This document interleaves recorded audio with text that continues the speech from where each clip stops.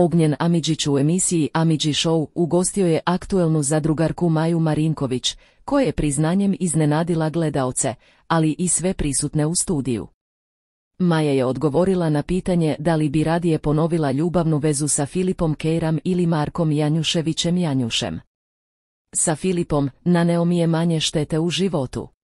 To je jer moram da izaberem, rekla je Maja, a onda je usledilo pitanje kog je muškarca najviše volela. Filipa, odgovorila je Marinkovićeva kao i stopa. Podsjetimo, Filip Car je nedavno postao otac. Već neko vreme je zauzet i uživa u ljubavi sa bivšom zadrugarkom Aleksandrom Nikolić, što Maja zna, pa je to razlog zbog kog su ljudi iznenađeni njenim odgovorom.